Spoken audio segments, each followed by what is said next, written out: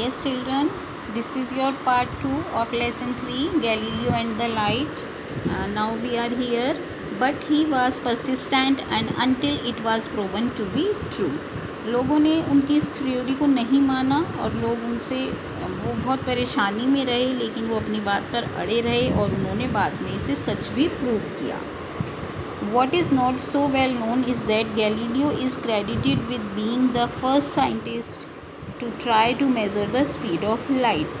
शायद ये बात बहुत सारे लोगों को ना भी पता हो कि गैलियो, गैलीलियो को इस बात का भी क्रेडिट जाता है कि वो एक ऐसे पहले वैज्ञानिक थे जिन्होंने इस बात का पता लगाया कि प्रकाश की जो गति है, वो क्या है? स्पीड ऑफ़ लाइट क्या है? Until few hundred years ago लगभग बहुत सारे सौ सालों तक it was assured that the speed of light was infinite ऐसा माना जाता था कि प्रकाश की जो चाल है, जो गति है, वो इनफाइनाइट है, उसे कोई पता नहीं लगा सकता। When in actually it is just really और वास्तव में ये क्या है? रियली रियली ये इतनी फास्ट होती है exactly two nine nine seven nine two four five eight metre पर सेकेंड ऐसा माना गया। The first the first known person to question the idea that the speed of light is infinite was the greek philosopher empedocles सबसे पहले इस बात पर प्रश्न उठाने वाले की जो स्पीड ऑफ़ लाइट है वो इनफाइनाइट है वो थे ग्रीक के एक दार्शनिक जिनका नाम था Empedocles in the fifth century BC पाँचवीं शताब्दी में और फ्यू ईयर्स लेटर उसके कुछ सालों बाद the Greek philosopher disagreed with um, Empedocles and insisted that the speed of light was indeed infinite and the argument continued back and forth for more than 2000 years until Galileo stepped in. अब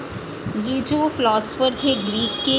एम्पीडोकल्स पाँचवीं शताब्दी में इन्होंने इस बात पे प्रश्न उठाया फिर एक ग्रीक फिलासफ़र थे एरिस्टोटोटल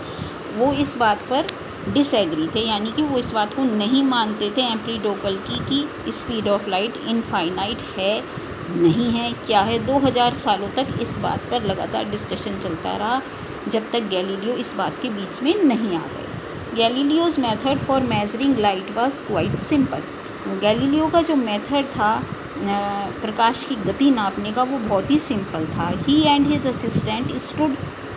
with two lit lamps उनके जो वो और उनका असिस्टेंट दोनों दो लैंप जलाकर दूर दूर खड़े हो गए, एक माइल दूर खड़े हो गए पार and by covering and uncovering the lamps they tried to deduce if there was any time lag between the two the results were inconclusive. The only thing Galileo could conclude was that if not instantaneous it is extraordinarily rapid अब जब वो चाहे उस lamp को cover कर लो, चाहे उसे ना कवर करो, अगर जो प्रकाश है, जो लाइट है, उसके बीच में कुछ ना आए तो वो एक्स्ट्राऑर्डिनरली तेज़ गति से चलता है। Galileo assume that light travel at least ten times faster than the sound Galileo ने ऐसा एज्यूम किया, यानी कि ऐसा माना कि जो प्रकाश है, जो रोशनी है, वो आवाज़ से तकरीबन दस गुना ज़्यादा रफ्तार से चलती है। But he had no evidence to support his theory लेकिन अपनी इस थ्योरी को सपोर्ट करने के लिए उनके पास कोई भी प्रमाण नहीं था। So he decided that his experience was a failure his experiment was a failure तब उन्होंने ऐसा निश्चय किया कि उनका शायद ये जो एक्सपेरिमेंट उन्होंने किया था, ये फेल हो गया।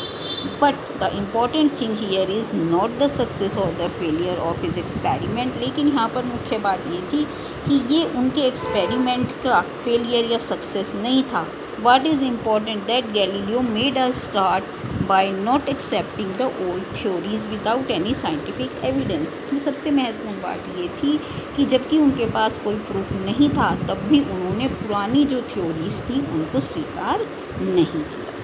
Uh, now I end this video here. I will start my remaining chapter in the next video. Thank you